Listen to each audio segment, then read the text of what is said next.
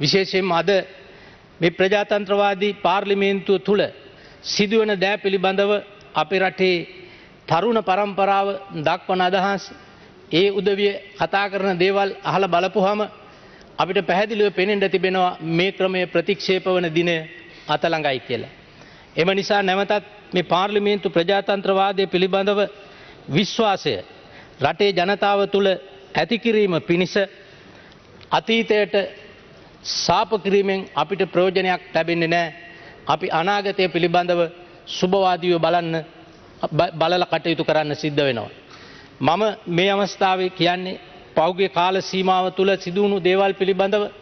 හරිවැරදි සොයමින් පශ්චාත් මරණ පරීක්ෂණ කිරීම තුළ නෙවෙයි අපිට මේ ප්‍රශ්නයට විසඳීමක් ලබාගන්න හැකියාව ලැබෙන්නේ අපි සුභවාදී ලෙස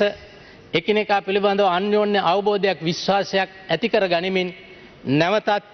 මේ ප්‍රජාතන්ත්‍රවාදී ක්‍රමය තුළ මේ රටේ මේ පාර්ලිමේන්තුව තුළ බහුතරයක් මෙහෙවන්න පුළුවන් කණ්ඩායමකට කුමන කණ්ඩායම වනත් ඒ කණ්ඩායමකට ආණ්ඩුවක් පිහිටවීම සඳහා අවස්ථාව ලබාදීම තුළින් කියන කාරණය මම මතක් කරනවා. ඒ වෙනුවෙන් මන්ත්‍රීවරු මන්ත්‍රීවරයෙක් විදියට